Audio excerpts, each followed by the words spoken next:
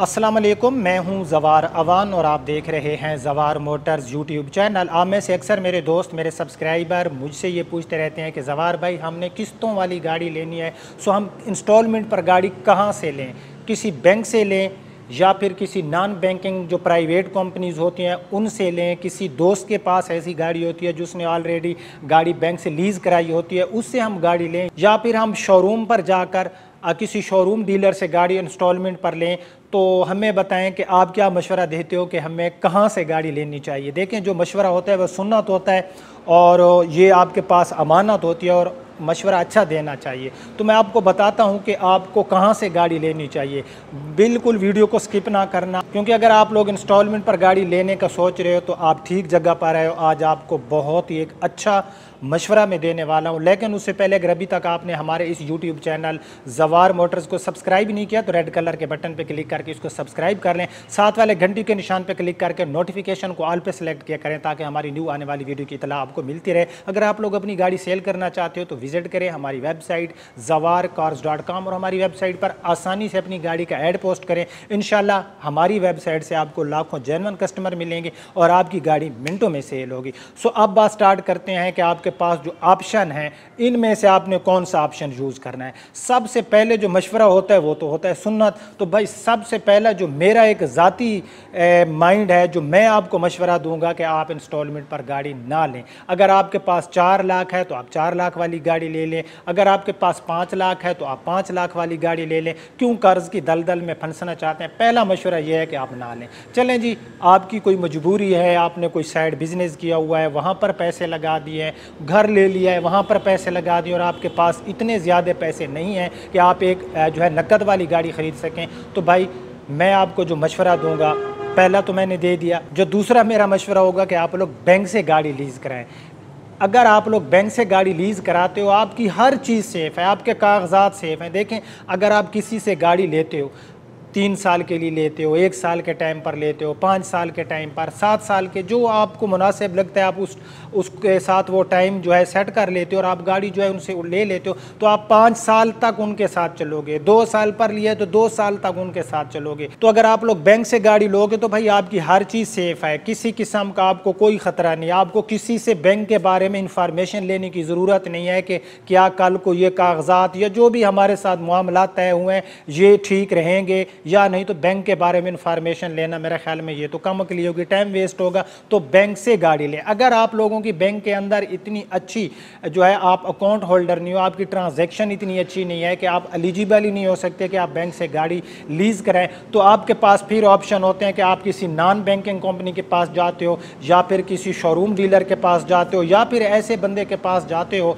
जिनके पास already bank lease वाली गाड़ियाँ होती हैं, या आप किसी रिश्तेदार, दोस्त के, दोस्त से जो है गाड़ी लेने का सोचते हो। तो अब यहाँ पर मैं आपका एक माइंड क्लियर करता जाऊँ। देखें मैं पहले आपको बता चुका हूँ कि जब आप किसी से इंस्टॉलमेंट पर गाड़ी लेते हो तो लंबे अरसे तक उसकी और आपकी एक समझो कि एक रिलेशनशिप हो जाती है। हर महीने बाद आपने एक दूसरे को मिलना है, उसको पैसे देने हैं। तो भाई, अगर आप लोग किसी भी नॉन बैंकिंग कंपनी से गाड़ी ले रहे हो तो उसको अच्छी तरह से आपने जो है देख लेना है कि वाकई ये हमें गाड़ी देंगे। अगर गाड़ी देंगे तो कल को कागजात भी हमें मिलेंगे या नहीं मिल, नहीं मिलेंगे। तो भाई, ये एक सोचने वाला पॉइंट पॉइंट है तो आप किस तरह से उस कंपनी को जो है चेक करोगे? देखें, पाकिस्तान के अंदर बहुत सी ऐसी कंपनीज़ मैं सब की बात नहीं कर रहा, ऐसी कंपनीज़ हैं जिन्होंने लोगों से डोन पेमेंटें ले ली और उनकी डोन पेमेंट भी खा कर उनको गाड़ी भी नहीं दी। या तो वो डोन पेमेंट वापस नहीं करते, या कुछ लोग ऐसे भी होते हैं, मैं सब की बिल्कुल बात नहीं कर रहा कि वो लोगों से डोन पेमेंट ले लेते हैं। एग्ज़ाम्पल में दे रहा हूँ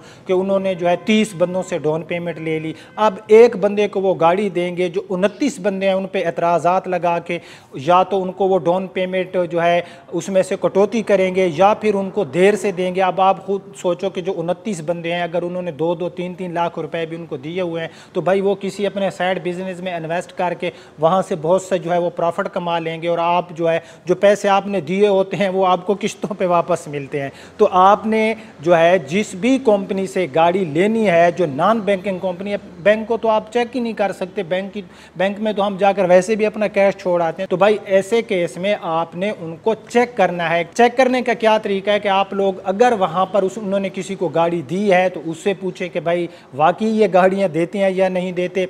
या फिर आप बहुत से ऐसे सोर्सेज होते हैं जिनको यूज़ करके आप उनके बारे में इंफॉर्मेशन ले सकते हैं। लेकिन अगर आप लोग किसी शोरूम वाले के पास जाते हो, किसी नॉन बैंकिंग इदारे के पास जाते हो तो वो आपको डॉक्यूमेंट्स नहीं देते साथ गाड़ी के। जी हाँ वो आपको कागजात नहीं देते, वो अपने पास रख लेते हैं। अब आप मुझसे गाड़ी उठा रहे हो किस्तों पर। अब क्या पता कि उस गाड़ी को ऑलरेडी मैंने जो है कहीं पर आ, कहीं से जो है किस्तों पर गाड़ी ली हुई हो और मैंने वहाँ से जो गाड़ी ली है मैंने उनको दिया हो दो लाख तीन लाख आपसे डाउन पेमेंट ले ली आठ दस आपसे इंस्टॉलमेंट भी ले लूँ। अगेन मैं उनको इंस्टॉलमेंट ना दूँ जिनसे गाड़ी इंस्टॉलमेंट पर उठाई हुई है तो भाई गाड़ी तो आपसे पकड़ी जाएगी। मैंने तो वहाँ पर खूब अपना मुनाफा कमा लिया तो इस किस्म के बिज़नेस भी मार्केट के अंदर इन हैं। तो आप लोगों ने बहुत ज़्यादा एहतियात की ज़रूरत है अगर आप किसी ऐसे नॉन बैंकिंग गाड़ी लेने जाते हो। उसके बाद होता है कि आप शोरूम डीलर से गाड़ी लेने जाते हो तो वहाँ पर भी यही प्रॉब्लम है। अब जवार अवान के कल के बारे में आप कुछ नहीं मैं कह सकता। मेरा आज ठीक है, कल के बारे में आप मेरे मेरे ऊपर कोई टाइम आ सकता है। तो बहरहाल आप लोग, पहला जो ऑप्शन है वो यूज़ करें, दूसरा यूज़ करना है तो इन एहतियात को आपने लाजमी जो है ख्याल करना है। अगर आप लोग, जो आपके पास एक और ऑप्शन है कि अगर आप लोग जाते हो किसी ऐसे बंदे के पास, जैसे मैंने अगर गाड़ी जो है बैंक से लीज़ कराई हुई है, ठीक है? तो आप मेरे साथ जो है मामला तय करते हैं कि भाई आपने जो डाउन पेमेंट उधर दी हुई है, हम वो आपको दे देते हैं और जो बकाया इंस्टॉलमेंट जो है वो हम खुद देते रहे। तो ऐसा आप बिल्कुल कर सकते हो। लेकिन यहाँ पर आपने जो एक एहतियात करनी है कि आप जिससे भी गाड़ी ऐसे ले रहे हो, जो ऑलरेडी बैंक लीज वाली है, और आप डाउन पेमेंट दे के बकाया इंस्टॉलमेंट देना चाहते हो तो उसके साथ एक तहरीरी माहा करा लिया करें।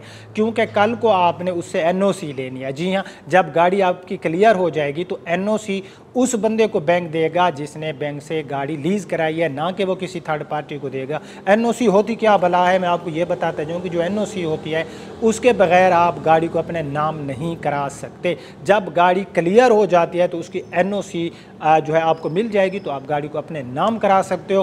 तो ये जो वीडियो थी, इसके अंदर जो मेरा एक माइंड था, मैंने आपको क्लियर बता दिया है कि आप बैंक से हटकर जब भी गाड़ी लेने जाएँ तो खुदारा आप लोगों ने जो है ज़रूर उस कंपनी के बारे में, उस बंदे के बारे में, उस शोरूम वाले के बारे में इंफॉर्मेशन लेनी है, ये आपका राइट बनता है। वरना बहुत सी केसेस हमारे सामने ऐसे हैं कि लोग बेचारे जो है, उनके साथ बहुत ज़्यादा धोखे फ़राड हो चुके हैं। तो उम्मीद करता हूँ कि आज की वीडियो आपको पसंद आई होगी। अगर पसंद आई है तो एक लाइक और शेयर कर दें। अब अपने होस्ट जवार अमान को इजाज़त दें। अपना और अपने प्यारों का बहुत ख्याल रखना। अल्लाह हाफिज़। जहाँ कहीं बात हो कार बाय या सेल करने की तो एक ही website Jawar cars dot com आप इस वेबसाइट पर अपने लिए कार परचेज या अपनी कार सेल करने का एड लगा सकते हैं। तो ज़रूर विज़िट कीजिए जवार कार्स डॉट कॉम।